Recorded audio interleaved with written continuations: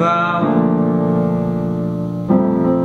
For better or for worse I can't believe you let me down. But the proof